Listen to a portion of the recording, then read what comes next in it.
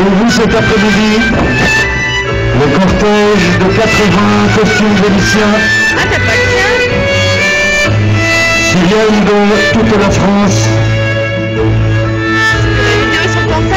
Je vous présenterai chaque costumé après cette cérémonie. Tient.